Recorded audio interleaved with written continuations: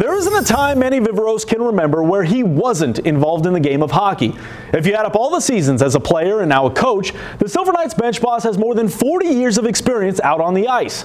Hockey has given him a dream realized, a career, a way to feed his family, and now a second chance at life.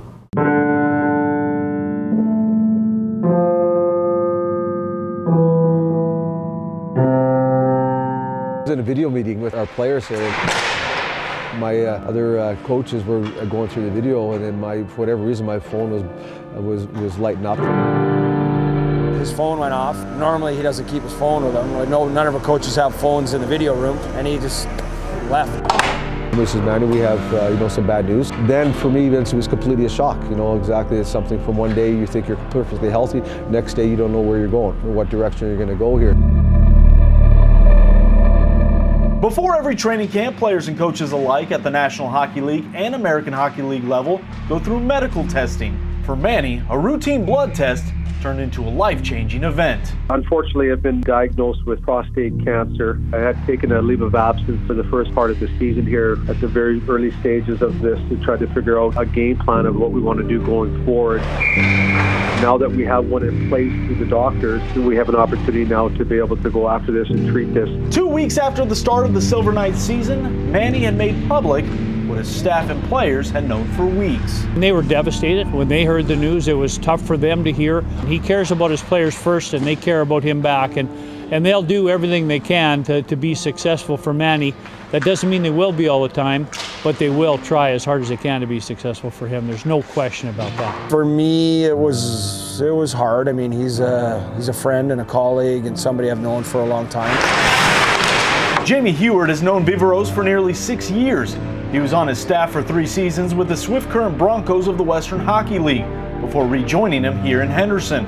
Heward served as the interim head coach during the first four games of the AHL season, using Manny as the team's motivation. Now you've got a reason to play for somebody that you really care about, and that can be your, you know, that can be your rallying cry during tough times. If you need a reason to come to the rink every day, make Manny a reason to come to the rink every day. If you're getting out of bed and you're sore, remember how sore he is, and remember all those things that he's going through.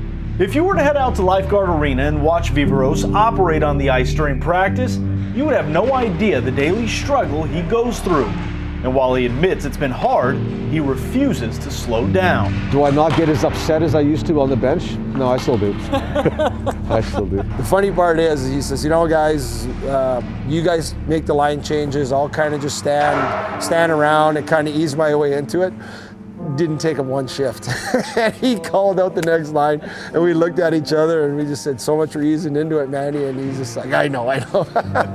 I couldn't help myself. Being here, um, it gives me that opportunity while I'm with the guys here to put it away for a few hours a day, not think about it too, and, and get back what I love doing most is, is, is, you know being involved in hockey and coaching hockey. Manny Viveiros has the support of his team, his organization, and his coaching colleagues. It hits close to home. He's in a fight right now, and, and the prognosis looks positive, but um, you know it, it puts into perspective uh, if anything, some of these little things we're dealing with on a day-to-day basis. He's a brave man, and uh, you know I hope everything goes smooth. Shea Theodore beat testicular cancer at the age of 25 and has since partnered with Susan G. Komen in Nevada, helping create K's Power Play, named in honor of his late grandmother who battled breast cancer. Manny Viveiros says he sees himself on a similar path to that of the Golden Knights defenseman.